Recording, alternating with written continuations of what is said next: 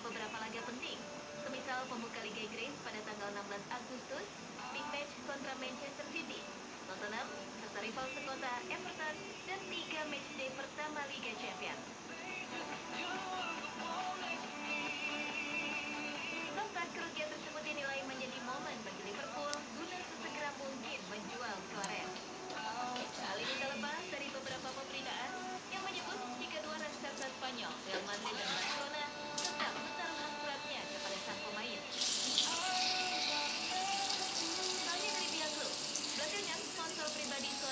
Adidas, juga dikabarkan gerah akan perilaku ambasadornya ini.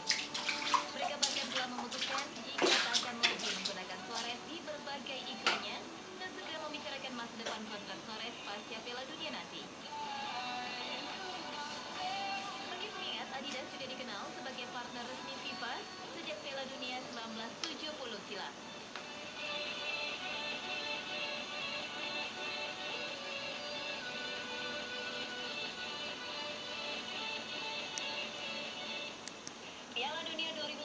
ini telah melanggar